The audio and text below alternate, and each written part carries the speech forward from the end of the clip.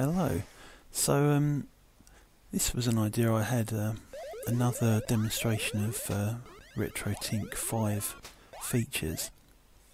Um, so, I thought I'd show you some of the obvious visible differences between the um, composite filters.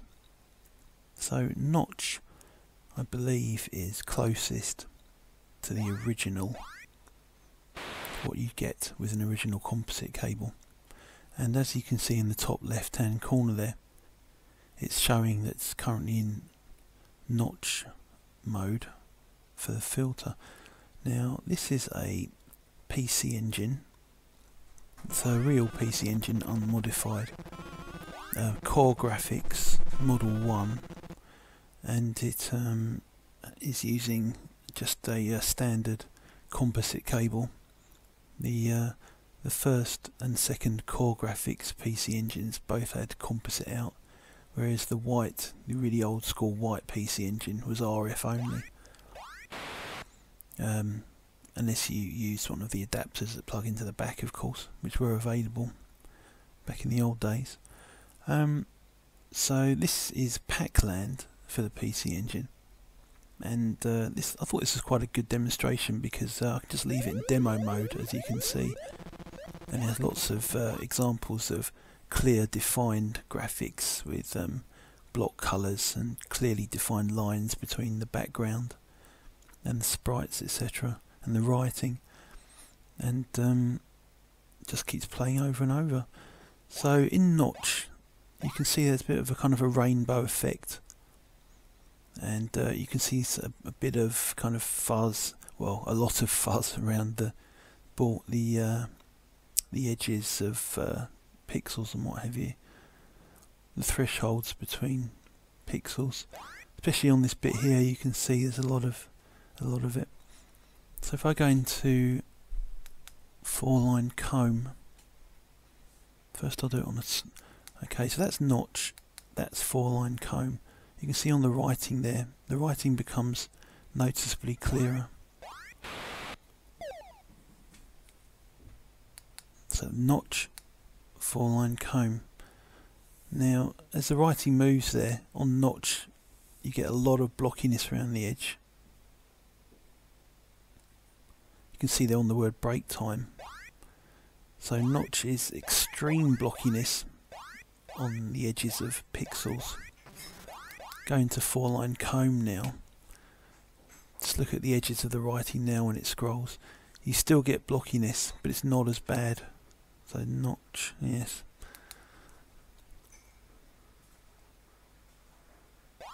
So this is four line comb. Okay, this is notch. Look at the edge of the writing now. Four line comb's on now. Now four line the, the benefits of four line comb are much more obvious on stationary screens. So that's notch, that's four line comb. You can see on the uh, on that block font of the game that four line comb the writing looks much better.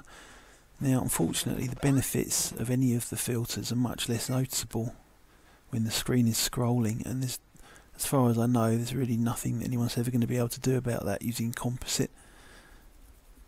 The uh, the phrase "you can't polish a turd" comes to mind. Now, of course, uh, composite is much more acceptable on a CRT, so I'm in no way denigrating the uh, using composite.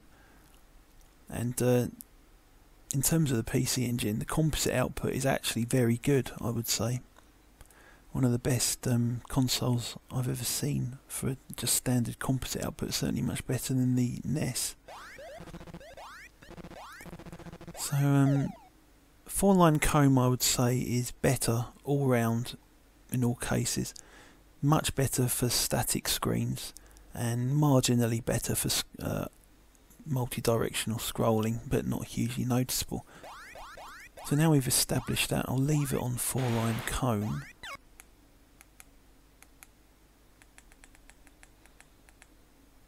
And we'll go to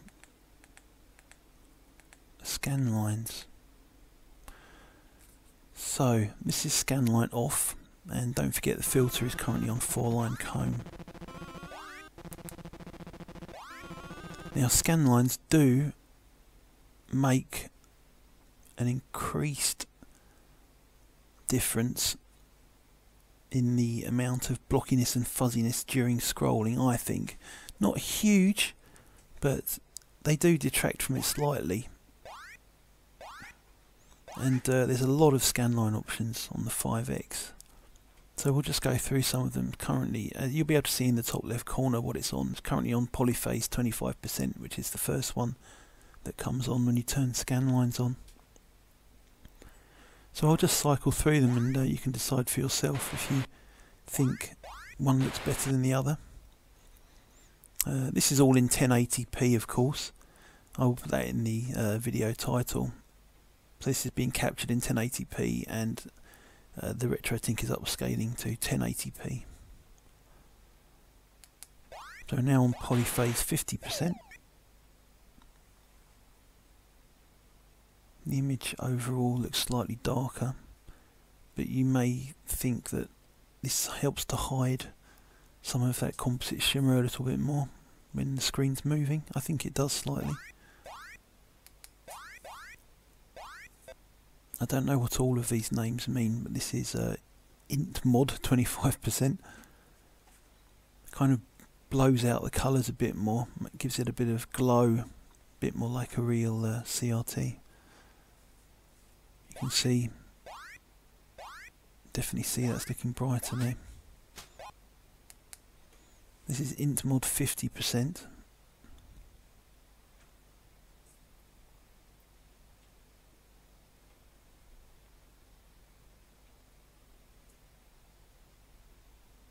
That looks pretty good actually. I think it's better than the int mod 25%. It's not so blown out. And it is helping to obscure. I think these scan lines, I don't think the, uh, I don't think they're hiding the fuzz as much on the black and on the black background with the writing, but on these screens with the full colour scrolling gameplay, I think the scan lines are making a slight improvement. This is int mod 75%.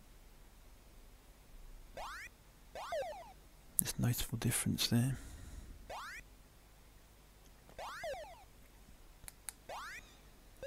Slot mask.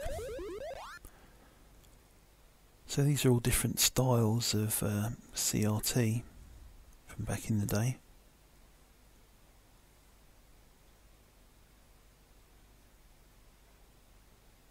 that's definitely making it look more like it's actually on a real CRT and it's quite impressive actually. Aperture grille.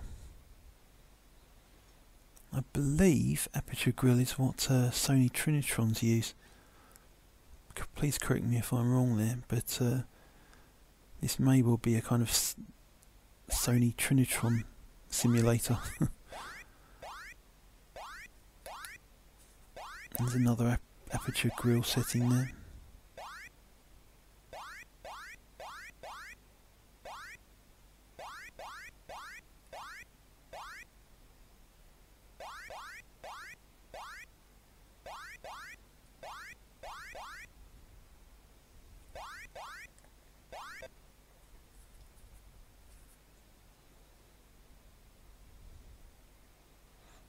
To the one next one after Aperture Grille 2. PVM simulator. Another Sony TV, or monitor rather.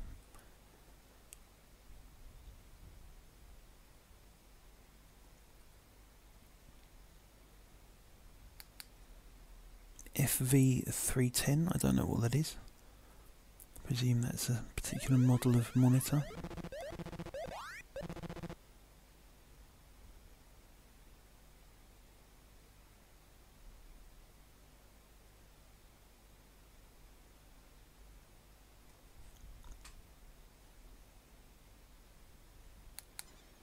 Consumer One. Well, that is actually really cool. You can almost see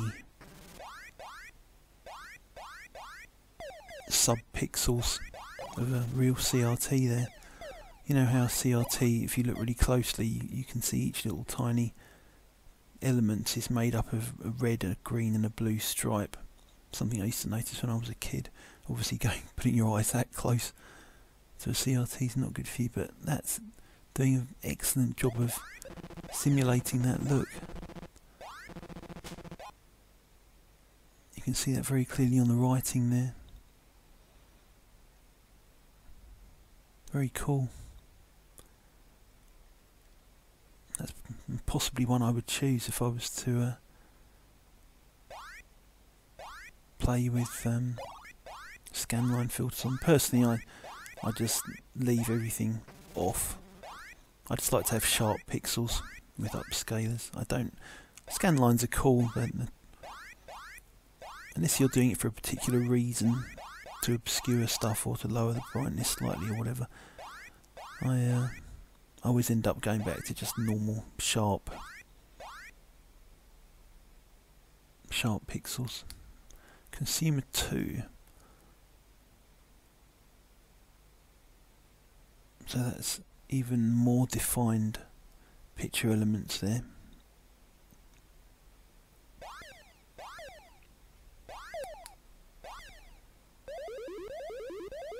Integer 100%.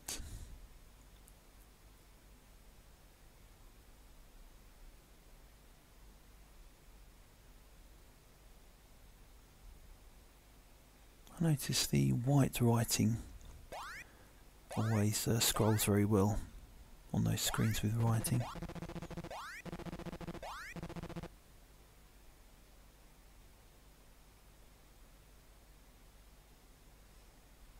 The coloured writing, like the blue and the yellow, you can notice more of the composite shimmer.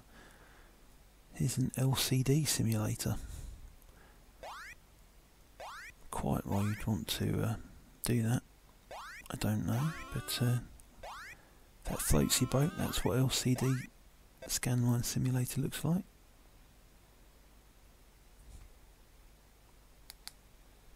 And we're back round to off.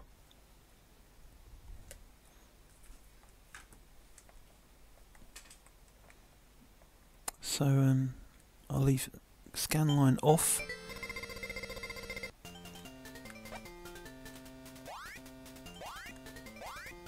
And composite filter is currently still set to four line comb.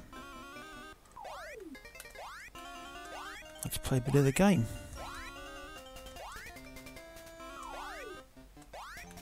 I think four line comb is what I would choose to use for the most part. Um, I personally have a um, RGB modded PC engine. And I also have a Super SD System 3 as well which um, gives you RGB out from the back of any PC engine. So normally speaking I would use an RGB method of some kind when I'm actually playing PC engine.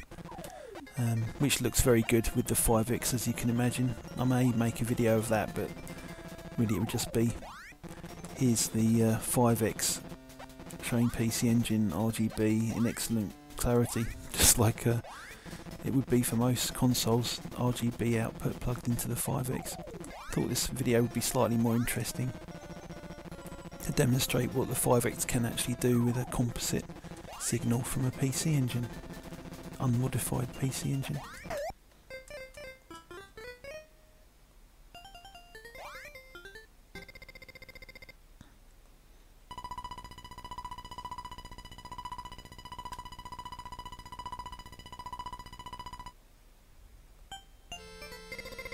I'll just do one, one or two more stages of this game.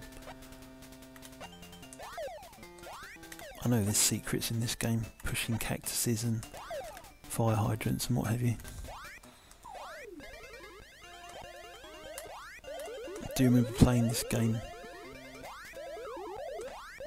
when I was a kid. My dad um, worked in a hospital for a few years and uh, the hospital social club that he was a member of had a uh, Pac-Land arcade machine, which was quite a big hit with people. That was sometime in the late 80s. At that time, the machine would have been, I don't know, about five years, four or five years old, I suppose. I think this game came out in about 1984. I say for 1984, this is quite a remarkably original platform game, really. I do think there's probably a few tips that um, Nintendo took from this game for Super Mario Brothers in terms of power-ups and in this game you get a power-up that enables you to fly which was obviously something that became a big aspect of Super Mario Brothers games later on. But as far as I know this one certainly did it first. This is of course a much less talked about game. This is one of the secret bonus cactuses. Let's see. And uh, I get invincibility for that one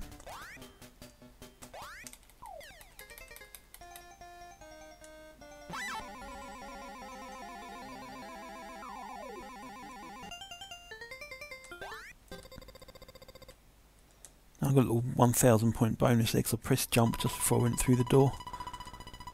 I believe this is where the fairy is going to give me the flying ability.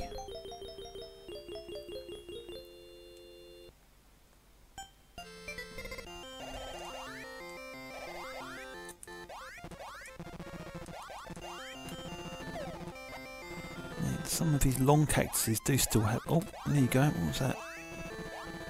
Not going to find out. Oh, actually can't remember what that little Pac-Man symbol there is. I want it. I've got it. Might be extra time. Not sure. I don't think I've ever actually managed to catch one of those before.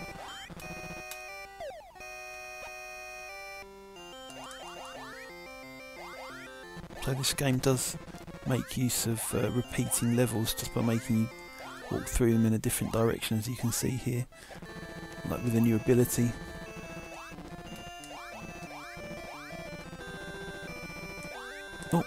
that another bonus it's like a little ship from uh, Galaxian there I collected I don't know what that does either please leave a comment in the video if you know what those little bonuses do and there you go, 1000 point for jumping. 1000 point bonus there for jumping just at the end. Well, there you go. So that's trip one of Pac-Land. Demonstrated mainly with a comb filter, four-line comb filter on the RetroTink 5X, um, using an unmodified, unmodified PC Engine CoreGrafx, using a uh, standard composite cable. If you've got any suggestions um, about combinations of consoles and cables and settings on the 5X that you'd like to see, please feel free to leave a comment on the video because I am going to uh, do a few more things like this just for general reference. So, uh, till next time, thanks for watching.